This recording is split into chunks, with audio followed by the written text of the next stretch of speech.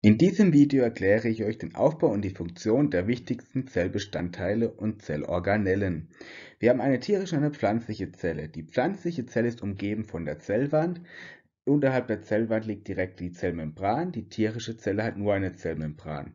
Die Zellmembran wird auch als Plasmalemma, Plasmamembran oder Zytomembran bezeichnet. Die Zellwand besteht zum größten Teil aus Zellulose wirkt dem Druck der Vakuole entgegen, also die Vakuole als größtes Zellorganell drückt von innen nach außen und die Zellwand als stabile Struktur wirkt eben diesem Druck entgegen so bleibt die Zelle stabil. Mehrere stabile aufeinander gelagerte, gestapelte Zellen können dann eine ganze Pflanze aufbauen. Deswegen hat eine Pflanze kein Skelett. Wir Menschen, wir Tiere brauchen alle ein Skelett, sonst würden wir schlichtweg zusammenfallen, da wir keine Zellwände haben. Pflanzen haben eben diese stabilen Zellwände und auch den Druck der Vakuole von innen, deswegen ist die Pflanze an sich stabil. Außerdem gibt eine, ähm, die Zellwand der Pflanzenzelle ihre charakteristische Form. Die Zellmembran bestehen alle aus einer sogenannten Lipid-Doppelschicht und die Zellmembran enthält sogenannte Tunnelproteine oder auch Ionenkanäle und das sind einfach Verbindungen, mit denen die Zelle mit ihrer Umgebung kommunizieren kann. Also ihr dürft es nicht als feste Struktur vorstellen, sondern das Ganze ist durchlässig und darüber kann dann eben die Zelle mit ihren Nachbarzellen beziehungsweise auch mit dem Interzellularraum kommunizieren, beziehungsweise hier kann ein Stoffaustausch stattfinden. Kommen wir als nächstes zum sogenannten Zytoplasma, es wird auch Zellplasma oder Zellflüssigkeit genannt. Es befindet sich sowohl in der pflanzlichen als auch in der tierischen Zelle. Der Hauptbestandteil ist Wasser, dazu kommen noch Ionen, Kohlenhydrate, Aminosäuren, Coenzyme und ganz, ganz viele weitere Stoffe. Und damit ist das Zytoplasma ein ganz wichtiger Ort für Stoffwechselvorgänge wie zum Beispiel die Glykolyse. Dann kommen wir zum Zellkern. Der Zellkern wird auch als Nukleus oder Karyon bezeichnet. Der Zellkern ist meist kugelförmig und wird umgeben von einer sogenannten Doppelmembran, die den Zellkern vom Zytoplasma abgrenzt. Diese Doppelmembran wird auch als Kernhülle oder Kernmembran bezeichnet.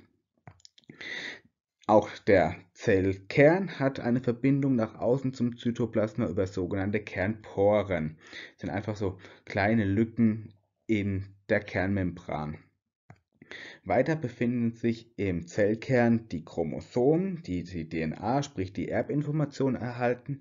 Ihr seht, im Gegensatz zum Bakterienchromosom ist sind die Chromosomen hier nicht ringförmig. Bakterien haben ringförmige Chromosomen. Höhere Zellen, die eukaryotischen Zellen, haben so x-förmige Chromosomen. Und im Zellkern ist noch das sogenannte Nukleolus, auch als Kernkörperchen bezeichnet. Und hier werden die Ribosome gebildet. Ganz wichtig, der Zellkern an sich wird auch als Nukleus bezeichnet das Kernkörperchen als Nukleolus. Ich weiß ähnliche Begriffe, aber passt ein bisschen auf, dass ihr die nicht verwechselt. Machen wir weiter, kommen wir zu den Ribosomen. Es gibt so eine freie Ribosome, die liegen einfach frei im Zytoplasma und Ribosome, die am endoplasmatischen Retikulum liegen.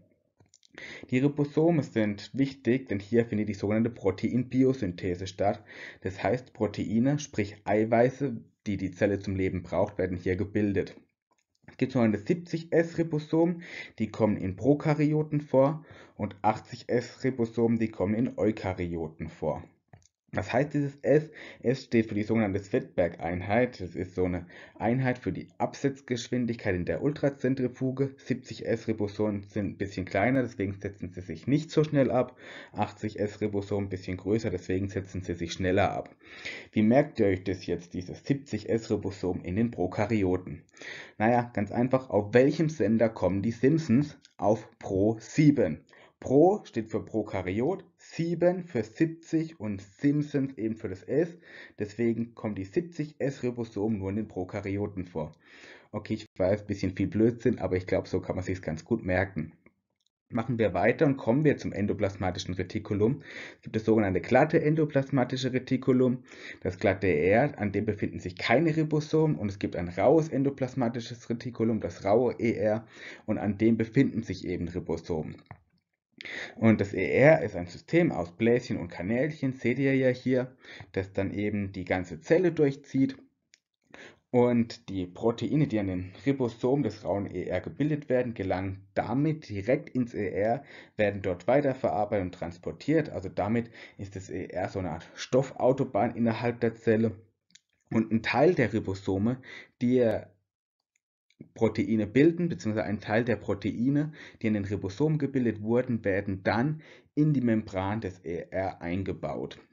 Also so werden dann praktisch Proteine ähm, hergestellt, die direkt in die Membran eingebaut werden können.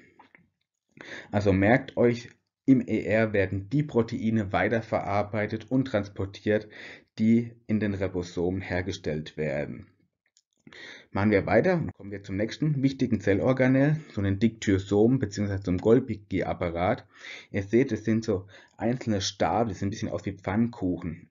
Und diese einzelnen Stapel werden als Diktyosome bezeichnet und die Gesamtheit der Diktyosome bildet eben den Golgi-Apparat. Also sprich Diktyosom und Golgi-Apparat ist das gleiche Zellorganell. Wofür ist das Ganze da? Naja, wir haben ja gesagt, an den Ribosomen werden Proteine gebildet, diese gelangen ins ER. Wie gesagt, ER ist so eine Art Stoffautobahn, dort werden die Proteine weiter verschifft in der Zelle ähm, und auch noch ein bisschen weiter verarbeitet. Und jetzt werden diese Proteine in sogenannte Vesikel verpackt. Das ist jetzt ganz wichtig. Und diese Vesikel gelangen dann vom ER zum Golgi-Apparat und dort werden die Proteine nochmal weiter verarbeitet. Und vor allem werden hier Zuckerketten hingehängt an diese Proteine. Und man spricht von glykosyliert, also sprich, im Golgi-Apparat werden die Proteine, die für den Einbau in die Zelle notwendig sind, erst da wirklich fertiggestellt. Okay, also wie ganz wichtig, am Golgi-Apparat werden Zuckerketten an die Proteine hingehängt und man spricht von glykosyliert. Machen wir weiter, kommen wir zum nächsten wichtigen Zellorganell, dem sogenannten Mitochondrium. Das Mitochondrium ist von einer doppelten Membran umgeben und hier findet die Zellatmung statt, sprich die Energiegewinnung. Ohne Mitochondrien kein, ja, wäre im Prinzip für eukaryotische Zellen kein Leben möglich, denn die produzieren tatsächlich die eigentliche Energie. Damit werden sie auch als Kraftwerke der Zelle bezeichnet. Und ganz wichtig, Mitochondrien besitzen ihre eigene DNA und vermehren sich durch Zellteilung. Sprich, in eukaryotischen Zellen haben wir ein Zellorganell, die Mitochondrien, die selbst nochmal DNA besitzen und sich auch selbst teilen, also selbst vermehren können.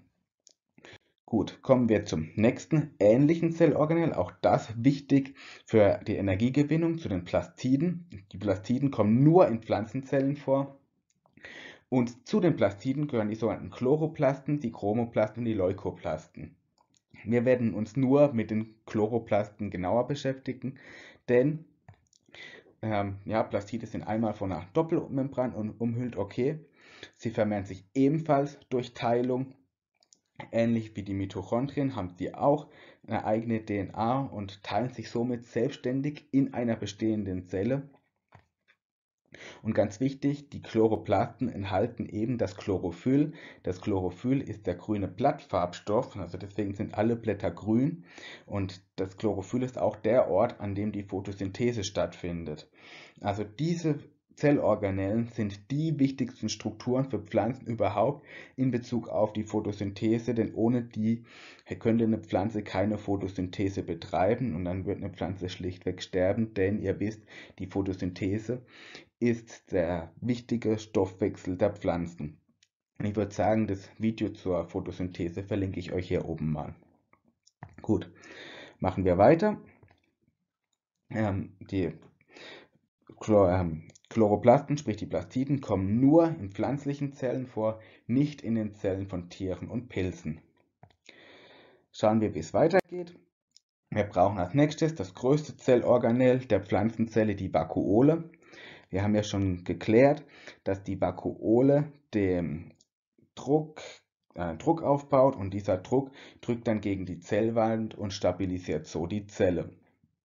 In den meisten Abbildungen von pflanzlichen Zellen wird die Vakuole immer viel zu klein dargestellt, also die ist wirklich absolut riesig, füllt im Prinzip nahezu die komplette Zelle aus und man zeichnet die einfach immer ein bisschen kleiner, einfach deswegen, weil man sonst die ganzen anderen Zellorganellen nicht mehr einzeichnen könnte und da, da man die ja auch nur irgendwie zeigen muss, deswegen wird die immer so ein bisschen zu klein gezeichnet. Wenn man eine pflanzliche Zelle mal mikroskopiert, dann sieht man, wie groß diese Vakuole eigentlich ist. Da erkennt man eigentlich nur zwei Zellorganellen, eben die Vakuole und den Zellkern noch. Okay, weiter werden in der Vakuole ganz viele Abfallstoffe eingelagert. Tiere haben den Vorteil, sie haben ein Verdauungssystem, sie haben After, um Abfallstoffe loszuwerden. Pflanzen haben das nicht. Deshalb werden die Abfallstoffe in die Vakuole eingelagert und dort bleiben sie einfach, bis das ganze Blatt stirbt. Sprich, im Herbst werfen die Pflanzen ihre Blätter ab, damit fallen auch die Abfallstoffe zu Boden, die in der Vakuole gespeichert sind und so wird die Pflanze ihre Abfallstoffe los. Kommen wir noch zu einem weiteren wichtigen Zellorganell, zu den sogenannten Lysosomen. Die Lysosome enthalten ganz viele Verdauungsenzyme und sind damit so ein bisschen ja, die Mülleimer, die Müllabfuhr der Zelle, denn hier ähm, ja, werden ganz wichtige Verdauungsenzyme hergestellt ähm, und ja, Stoffe, die einfach keinen Wert mehr haben, beziehungsweise Strukturen, die keinen Wert mehr haben, werden verdaut. Deswegen spielen sie bei der intrazellulären Verdauung eine ganz wichtige Rolle und werden damit immer so ein bisschen als in Anführungszeichen zellulärer Magen bezeichnet. Okay, ähnlich auch die sogenannten Peroxysome oder Peroxysome, also einmal schreibt man es mit I, einmal mit Y. Beide Schreibweisen sind korrekt. Und die helfen beim Entgiften der Zelle, denn die haben zwei wichtige Enzyme, einmal die sogenannte Katalase und die Peroxidase. Die Katalase wandelt das Zellgift H2O2, sprich Wasserstoffperoxid, in Wasser und Sauerstoff um. Dazu werden wir auch noch einen Versuch machen, dass ihr euch das Ganze ein bisschen besser vorstellen könnt.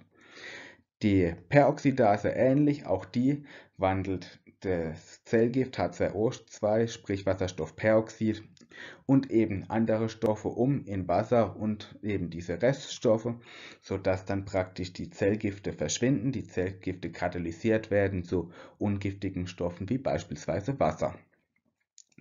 Okay, damit sind wir am Ende von allen Zellorganellen. Wir können uns alle Zellkompartimente bzw. Zellorganellen und alle sonstigen weitere Zellbestandteile nochmal genauer in der Mindmap anschauen, geordnet nach ihren Membran, denn es gibt Zellorganellen mit einer doppelten Membran. Hierzu gehören drei Stück. Einmal der Zellkern, die Mitochondrien und die Plastiden. Dann haben wir Zellorganellen mit einer einfachen Membran. Hierzu gehört das endoplasmatische Retikulum, die Vakuole, die Peroxysom, die Lysosom und der Golgi-Apparat. Und dann haben wir selbstverständlich noch Zellorganellen ohne Membran und hierzu gehören die Ribosomen, die Zentriolen und der Nukleolus. Die Zentriolen haben wir jetzt hier noch gar nicht genauer behandelt und die Zentriolen finden sich nur in tierischen Zellen, die werden immer so ein bisschen sternförmig gezeichnet und sind ganz wichtig, um den Spindelapparat auszubilden bei der Mitose. So, der Nukleolus, haben wir schon geklärt, befindet sich nur im Zellkern, deswegen habe ich jetzt noch so eine kleine gestrichelte Linie dazwischen eingezeichnet. Ich weiß, es war jetzt ein bisschen viel Information auf einmal. Ich hoffe, es hat euch trotzdem gefallen. Wenn ihr was gelernt habt in dem Video, gebt mir einen Daumen hoch und abonniert meinen Kanal. Und ansonsten macht's gut und vor allem bleibt gesund. Vielen Dank.